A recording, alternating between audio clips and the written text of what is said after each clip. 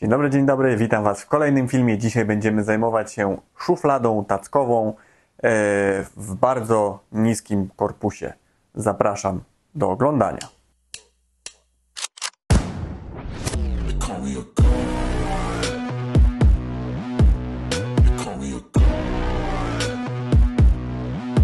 Witam Was serdecznie. Jak na wstępie mówiłem, będziemy się zajmować e, szufladą tackową, ale oczywiście zacznijmy, jak ja to ładnie nazywam, od formalności. Nie zapomnij zasubskrybować kanału, podzielić się na końcu e, filmu komentarzem, zostawić łapki, jak Ci się podoba. E, Tak jak mówiłem w którymś ostatnim filmie, e, większość osób, które ogląda moje filmy, niestety ich nie subskrybuje.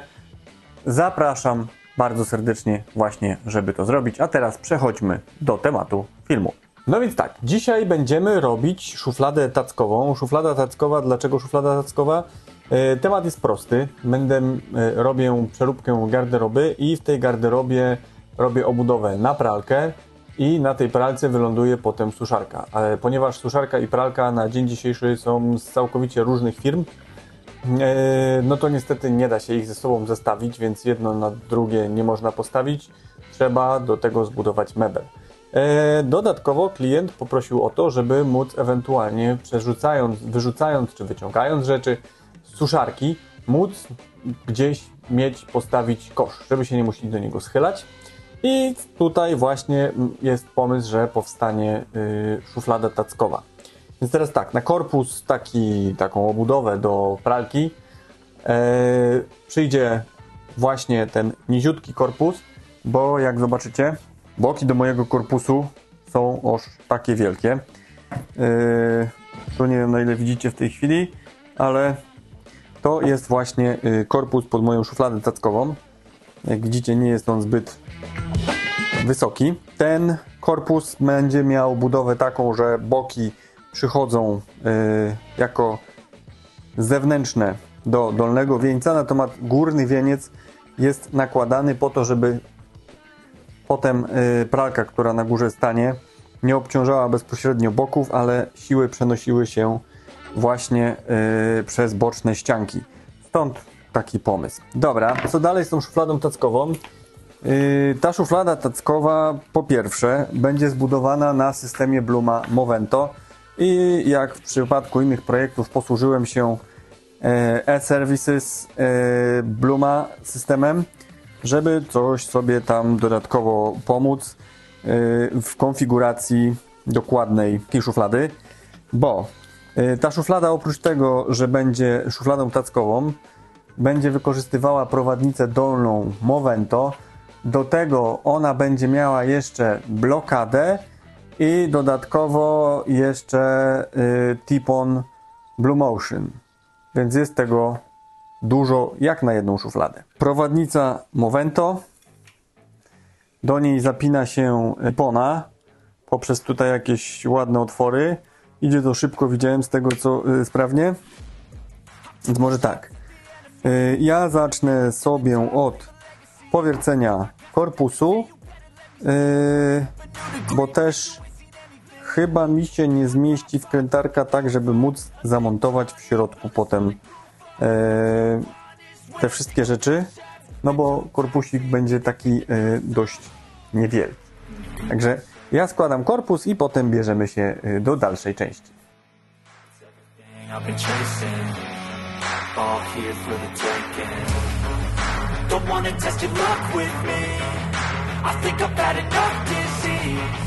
I'm sick of all the bad thoughts, people who are half-nots. You are not as tough as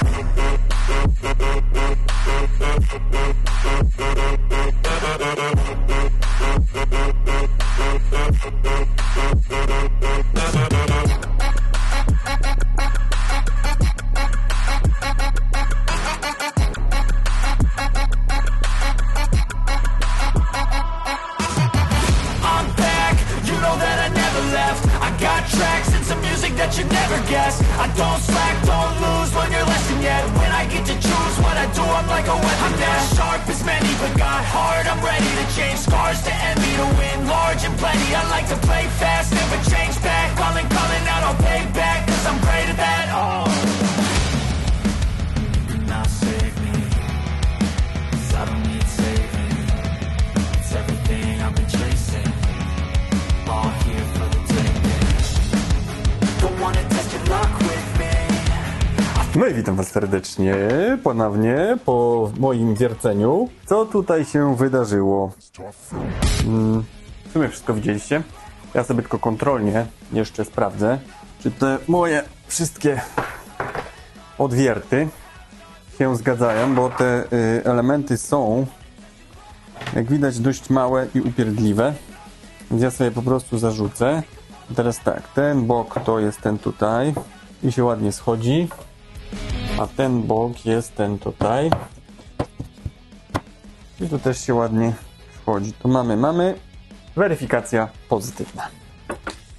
Teraz Ja sobie będę powoli skręcał te boki i będę Wam opowiadał jeszcze parę istotnych rzeczy, jeżeli chodzi o szufladę tackową.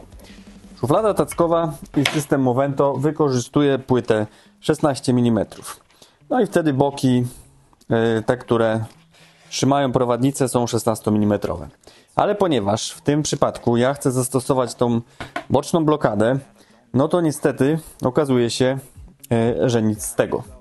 Nic z tego to znaczy, że nie da się ich wykorzystać, gdyż azalisz będziemy musieli się jeszcze zmieścić z blokadą.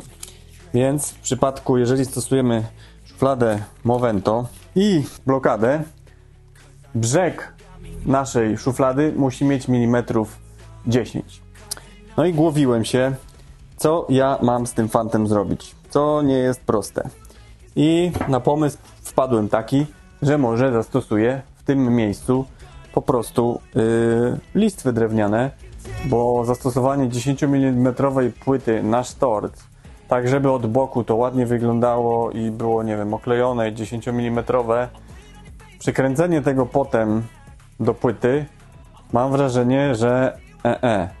Jak zaczniecie dokręcać na sztort 10 mm płytę w tą stronę i dokręcicie ją z góry, ona się przecież rozejdzie w szwach, bo w tą stronę płyta praktycznie y, dociskana nie ma żadnej wytrzymałości. W tą stronę ok, ale jeżeli zaczniecie ją dokręcać tutaj, to ma, miałem wrażenie, y, że to nie zagada. No, wywierciłem sobie otwory przy pomocy szablonu uniwersalnego e, i muszę teraz wkręcić moje prowadnice. Zrobię tak, ja sobie skręcę ten korpus, a tą czapkę na górę założę dopiero na samym końcu, jak cała szuflada będzie już y, zorganizowana, bo jeszcze do tego wszystkiego potrzebuję zamontować y, tipona, który jest w dodatkowym pudełku i są stacje tiponowe. Dobra, ja montuję y, korpus, prowadnicę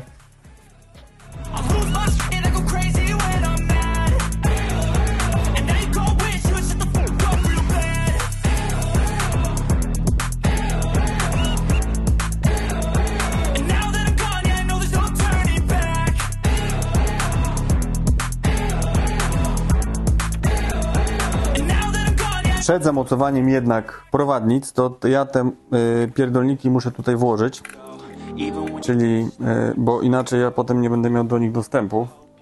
Będę widział, w co ja wpinam. Y, generalnie te zabieraki montuje się w bardzo prosty sposób.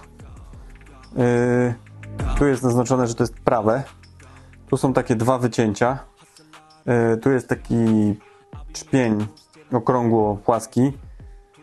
Więc yy, wkładamy go w ten sposób i obracamy aż kliknie.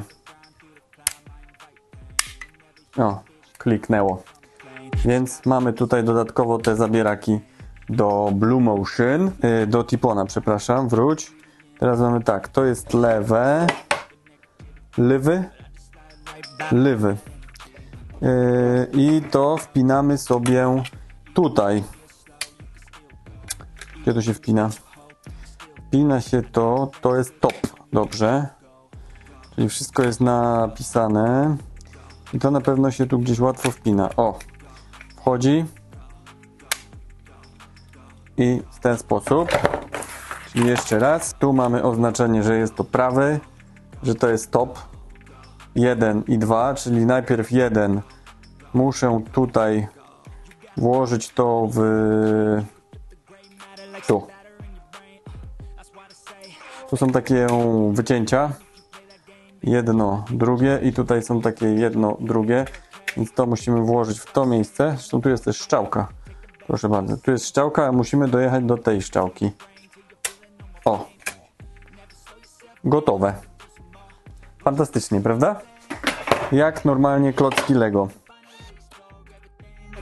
you could never do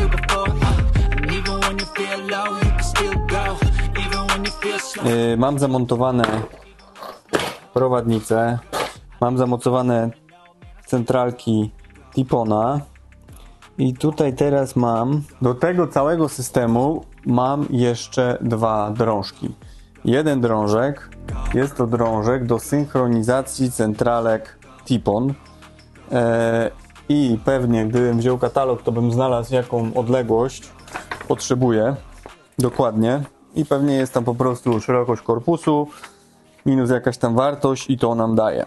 E, I synchronizacja Tipon Blue Motion ja mam tutaj, że mam mieć 344 mm, bo jestem leniwy i posłużyłem się właśnie tym yy, serwisem Bluma. Mam tego dość dużo, więc nawet jak się rypnę, w dalszym ciągu będzie ok. 340 na obrazku jest pokazane, żeby to przyciąć jakimś brzeszczotem. To weźmy brzeszczot. Ale czas leci.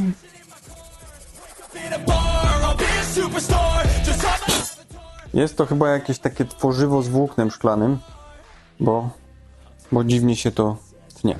W zestawie do mojego Tipona były też takie właśnie dwie takie końcówki i te końcówki po prostu e, wtykamy tutaj koniec tego drążka. A drążek, a drążek synchronizacyjny wpinamy tutaj. I on powinien tu wejść. Raz, dwa. I teraz jak nacisnę jedną, to powinno mi otworzyć drugą. Nie otworzyło, może dlatego, że potrzebuję mieć jeszcze jednak szufladę. Ten drugi drążek, wedle moich tutaj, powinien być na 524. Więc sobie go od razu też przypnę. Yy, zweryfikuję sobie tą odległość na 524. Tutaj mam właśnie te blokady wspomniane z szuflady taskowej. I sprawdzę sobie, czy to było rzeczywiście 524. calluses, but we know calculus. Damn, ain't that fabulous? Biorę te moje blokady i zakładam w nich drążek. Jeden drążek tutaj ładnie wchodzi. Ta druga strona docinana oczywiście jest troszeczkę... Dlatego nie robiłem tego kątówką, bo jakbym to zrobił kątówką, to automatycznie już mi w ogóle ten cały profil w środku wyrzezał, więc dlatego robiłem to brzeszczotem. Też jak widać to też niekoniecznie y, super pomogło. Jest i to, co miało być. Czyli wymiar się zgadza. Przykręcam moją blokadę tackową.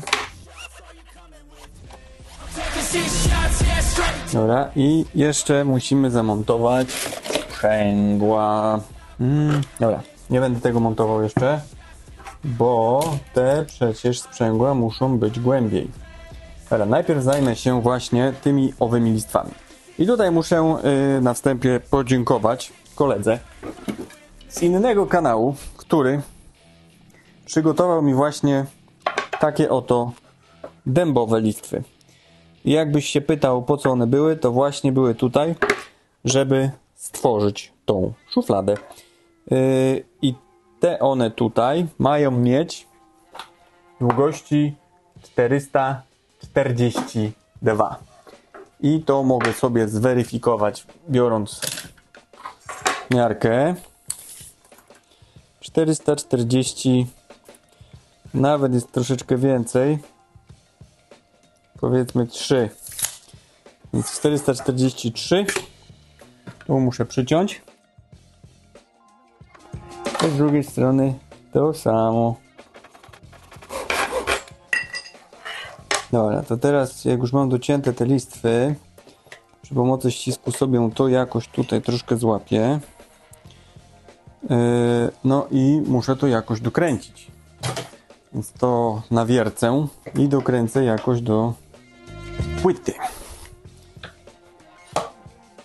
Dobra, złapałem ściskami, więc teraz nawiercę to delikatnie. Drugiego podejścia nie będzie. Gdyż Azalisz dno mam tylko jedno.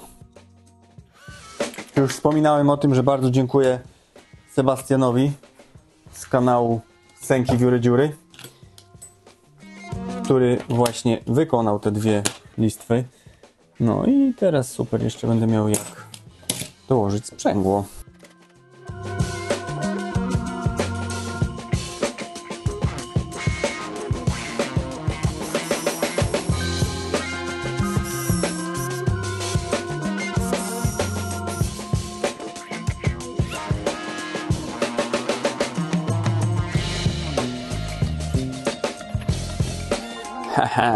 Jest i szuflada tackowa. I myślę, że ta listwa dębowa z boku e, jak najbardziej prezentuje się elegancko. Oczywiście najlepsze byłoby, gdyby e, ta krawędź była biała, ale myślę, że ten dębowy akcent jak najbardziej był strzałem w dziesiątkę. Dobra, ja teraz biorę mój korpus. Prawda, trochę mi się tu bałagan już zaczyna robić, ale dobra. I spróbuję zamontować moją szufladę, ale najpierw jeszcze. No i co, będzie pasować czy nie będzie pasować? No Ja mam nadzieję, że będzie. Zanim zamontuję jeszcze sprzęgła.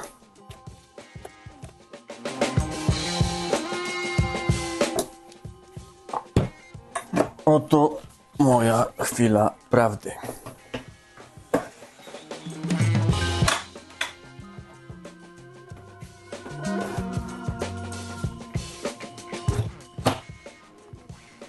Tylko jedna rzecz, nie mam dostępu do regulacji. O! Tak by to było. No, i działa. Tak właśnie miało być od samego początku. Dobra, zdradzę wam tajemnicę. No niestety, machnąłem się przy organizacji. Nie wiedzieć czemu, wpisałem sobie nie tą szerokość korpusu. Eee, no i brakło mi 9 mm tacki. Więc w międzyczasie, jak was nie było, musiałem dorobić niestety nowe dno. Ale jak widać, udało się i cała reszta poszła. Działa. Łącznie z tą fantastyczną blokadą i z jej odblokowywaniem. Działa! Jupi! Powiem wam, że generalnie to jestem tak zadowolony w 90% chyba bym powiedział. Wierciłem sobie jakieś tam parę otworków, zrobiłem sobie i tak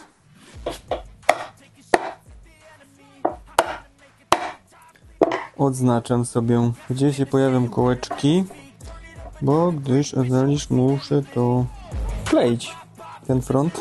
Teraz oczywiście posługując się wiertarką RC, wywiercę sobie te otwory, korzystając z żądła jako pilota.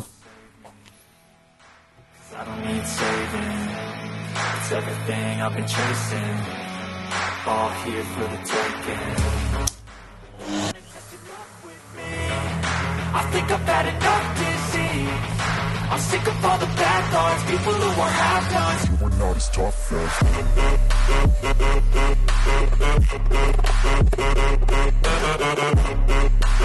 I próba generalna.